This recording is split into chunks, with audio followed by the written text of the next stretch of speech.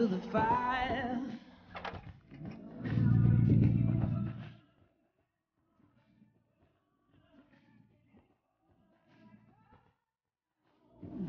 We've been waiting for this.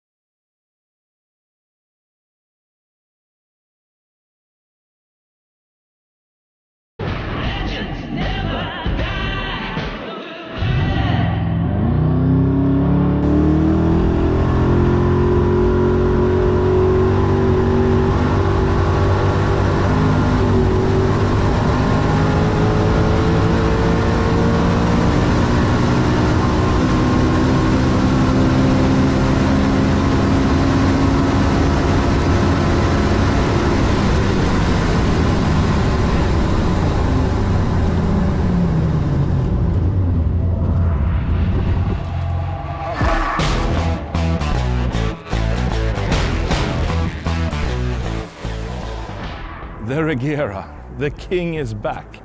What a day, what a record. It's unbelievable.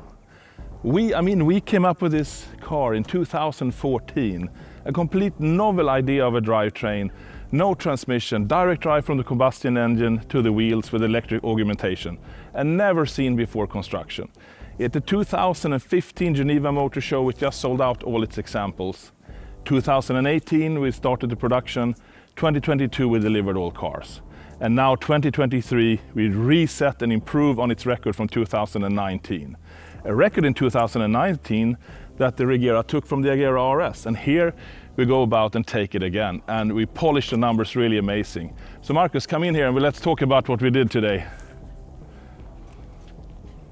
First of all, well, well driven. Yeah, thank you very much. you did a good job Yeah, there, the man. Made it easy for me. So Yeah, so I mean, uh, how come we can be so much faster suddenly? I would say the surface is the, the biggest improvement. Of the track, you mean? Yeah. The, the last track It was pretty bumpy and bumpy, rough. yeah, I mean, it was a derelict air base that I remember there were cracks, cracks and things everywhere, a lot of traction control. Exactly. But maybe something else as well. Yeah, uh, the Cup 2R tires as well. Uh, Yeah. I mean, both acceleration and braking, they are like Yeah. better than the Cup 2, of course. With, So from Cup 2 to Cup 2Rs, Yeah. big difference. yeah, I would say so. And those tires were not available back in the days in these dimensions. And now, here we go. Combined New record. Exactly. The ladies back again. Back. or the king reigns. Maybe it's not a lady, you know. exactly. anyway, well done. Thank you.